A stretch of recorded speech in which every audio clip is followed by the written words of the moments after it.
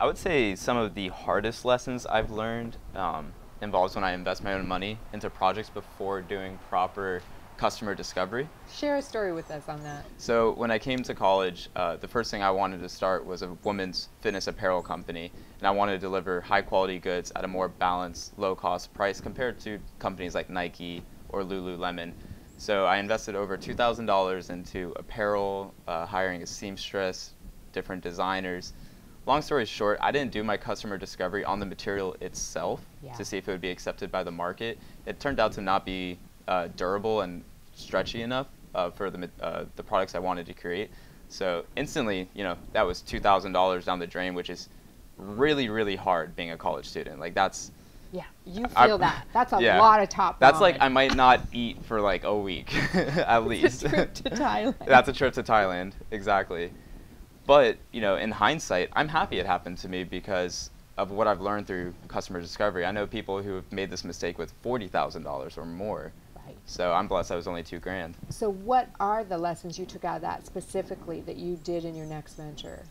Um, so the next venture, uh, I did web for a while, and the nice thing about doing web development or online marketing in general, it's uh, generally low cost and low barriers to entry. So I kind of transitioned from this uh, venture that needs a lot of capital to develop to a, something that's uh, less barriers of entry, low cost. Right. So that way it was less risk on my part. You get more traction, start making some cash. Yeah, so the idea was to create something that could generate revenue uh, to funnel into other ideas that I had.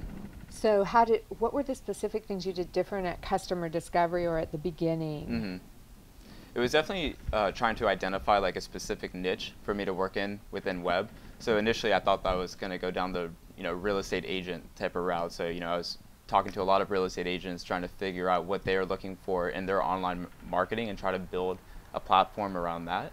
Um, I ended up doing a lot of pivots along the way, going from real estate agents to apartment complexes to ultimately just creating um, my own online marketing tools, such as my Content Hub.